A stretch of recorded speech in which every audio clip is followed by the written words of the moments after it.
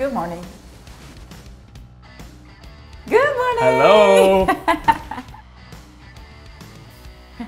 Come on into my living room. This is gorgeous. Thank you so Love much. It. I lit some candles for you. Full of daylight. Oh, thank you. You're so romantic. so tell me about your day. A regular day off, I'll wake up, I'll have a shower while the kettle's on. It takes a while.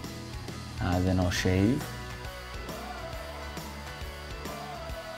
come out, make a coffee.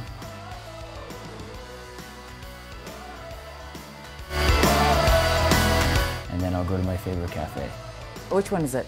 Cafe Integral. And I'll get a golden milk. Oh, what is it? Golden milk. Golden milk, they make it with coconut milk that they make in the store, all homemade. And they put turmeric inside with date powder. After golden milk, I go to Gotham, the gym. I'll do some boxing, maybe some weightlifting.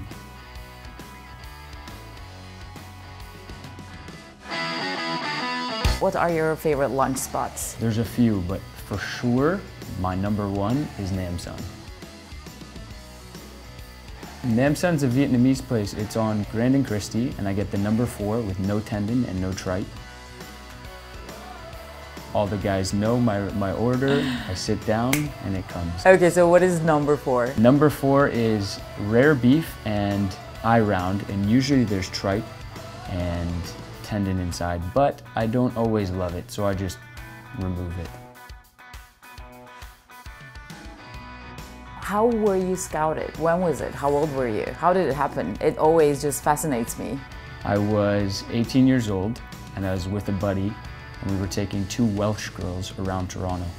And we were in uh, an area called Dundas Square Okay. and I got scouted and this guy just came up and said, excuse me, are you a model? And I was thinking in my head, no, why would you even ask?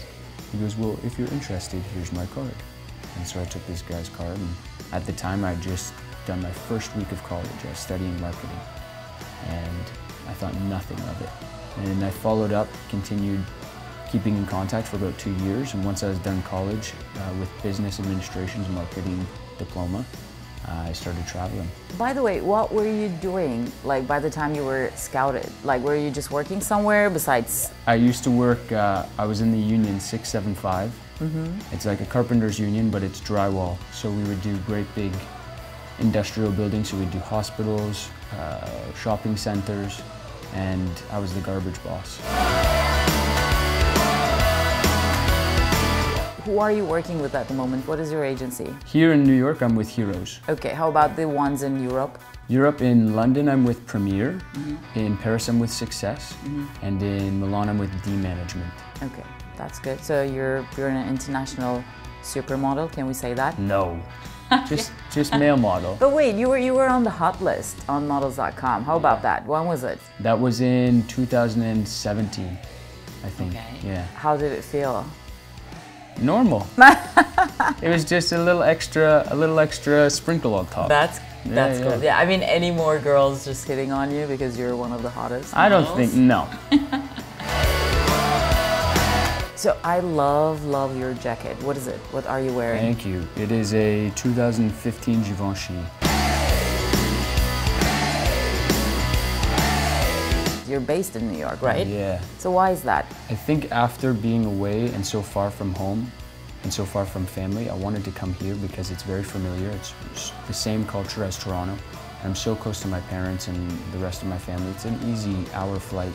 Go home real quick, come back. Um, it's a little more relatable here too. I love London, I love Paris. Milan is nice too, but here, here feels like home. It's just familiar. And it's the fashion capital for sure. Yeah. If anything's gonna happen anywhere, it's here. Yeah, that's true. How many covers do you have? Do you have any idea? Do you have the number in mind? I think I have five. Five covers? Five covers. Which one is the biggest? Definitely Numero. Oh, Numero yeah. magazine with Cat McNeil. Yeah, I remember that. It's beautiful. February 2017. Yeah. So Ryan, do you consider yourself as a New Yorker now? Um, I would say most people consider themselves New Yorkers after 10 years. I've been here nearly five, but I would consider myself a New Yorker. I think with, with modeling and the castings, you get to go around the city, Yeah. see all different neighborhoods. That's right. I have a lot of free time, and with the free time, I love exploring the city. Yeah. I know so many people here. I know so many different neighborhoods, restaurants, bars, cafes. I would say, yeah, I consider myself a New Yorker.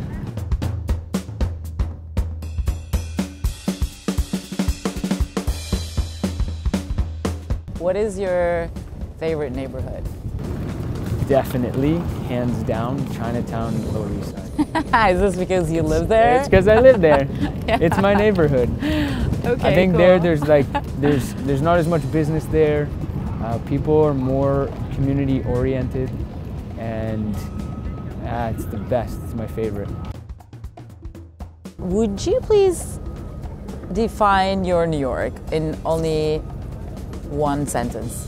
Oh, What is New York to you? New York is chaotic freedom. Two words: chaotic freedom.